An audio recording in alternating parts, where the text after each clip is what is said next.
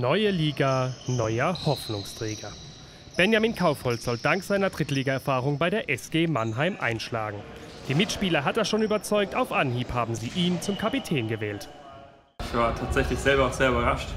Ähm, bin es aber, muss ich sagen, nicht alleine, sondern wir haben eine Kooperation, äh, sozusagen Gemeinschaft aus Kapitän, der Marcel Maringer und ich zusammen.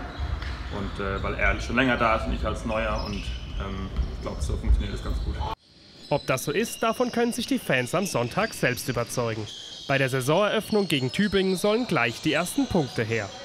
Hauptsächlich kommt es auf den Einsatz an, den wir zeigen von Anfang an. Wir müssen äh, zeigen, dass wir in der Liga bestehen können und 40 Minuten da mitspielen können.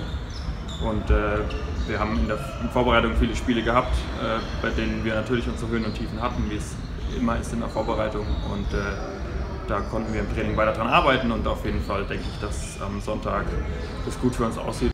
Auch weil der 29-Jährige, der aus Karlsruhe kam, als Spezialist von der Dreierlinie gilt. Trainer Peter Eberhardt hat aber noch mehr Vorzüge entdeckt. Ich denke, es zeichnet ihn aus, dass er ähm, extrem gut mit, äh, mit der Mannschaft kommunizieren kann, dass äh, man ihm seine Erfahrung auf dem Feld ähm, anmerken kann und dass er ein absoluter ähm, Teamplayer ist. Ein Spieler von Kaufholz Kaliber reicht aber noch nicht, um die Liga aufzumischen. Deswegen gilt in der ersten Saison in der vierten Liga nur eines. Wir denken nur im Moment an den Klassenerhalt.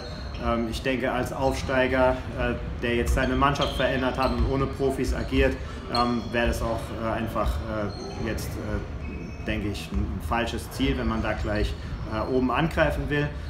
Am Sonntag will Benjamin Kaufhold das beweisen.